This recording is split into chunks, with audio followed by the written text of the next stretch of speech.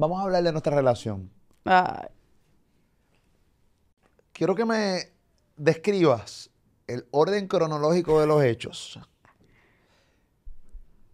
Todo el mundo sabe que yo estoy en un proceso de divorcio. En Puerto Rico, pues yo muchas veces decidía no salir porque sencillamente, como yo subo tantas cosas a mis redes sociales, la gente entiende que tiene la licencia De poder grabarme o verme y hablar de mí lo que les sale a los cojones. Y no es cierto, pero al final yo no discuto con eso porque al final no importa.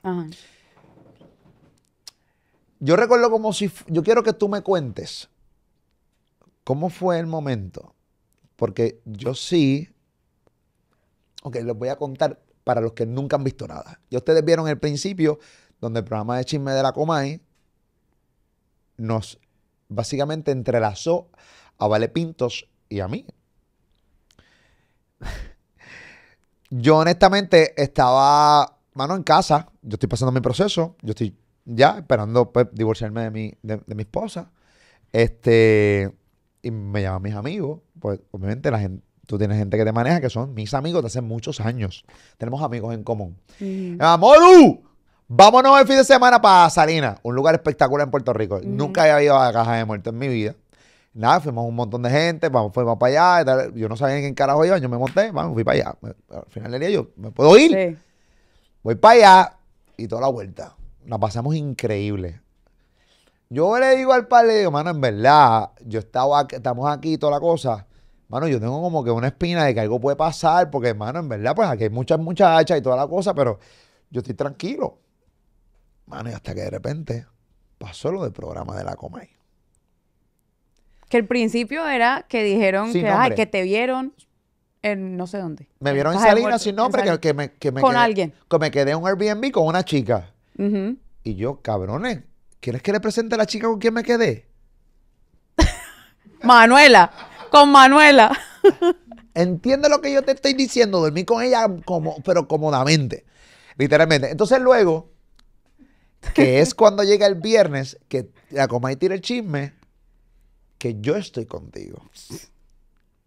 Y yo de repente digo, tan borracho estaba. ¿En qué momento? ¿En qué momento? Cuando te llega el chisme, ¿cómo fue el proceso?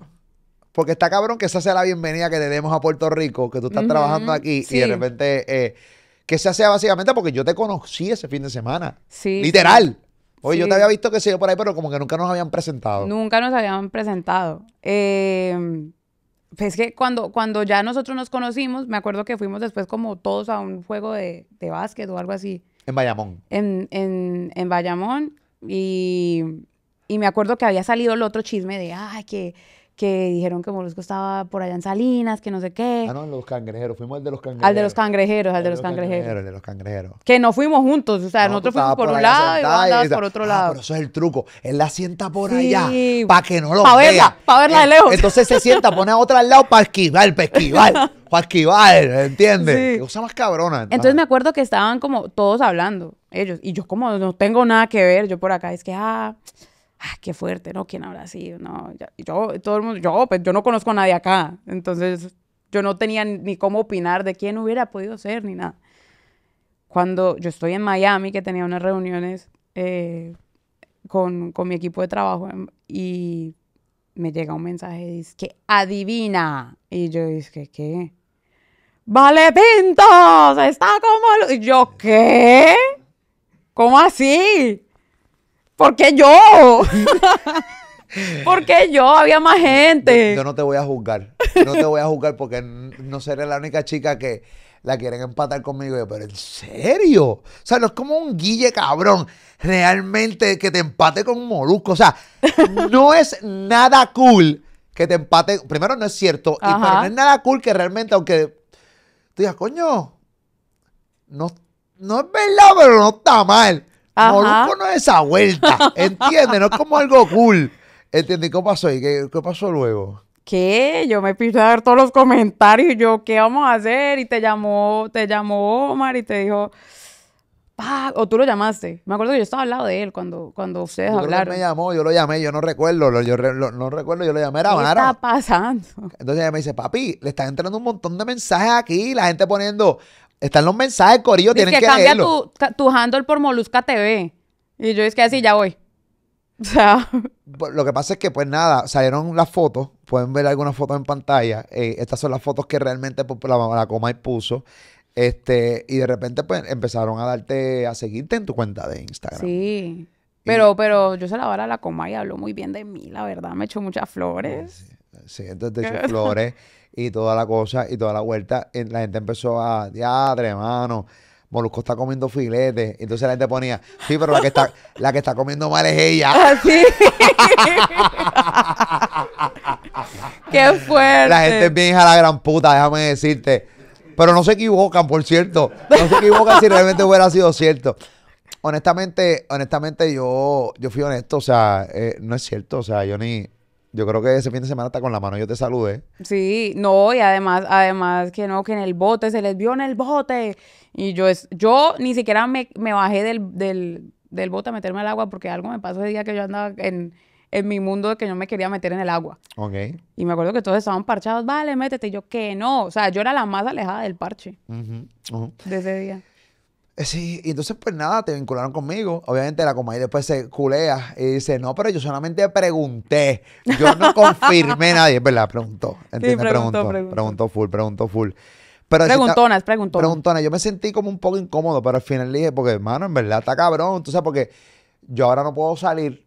Y digo, mano, ahora yo, toda mujer que se me pega a mi lado, entonces yo voy a estar con ella. Esta Sí, es la es- jeva que yo tengo ahora. es Entonces, una entonces- probadita de lo que te espera. no, bueno, o sea, yo siempre he dicho, hermano, si yo quiero hacer algo de verdad, ¿tú crees que yo me voy para Caja de Muerto, para Salina, para que todo el mundo me vea y diga, mira, el Ajá. Moluco, está, ¿en serio yo voy a hacer esa estupidez?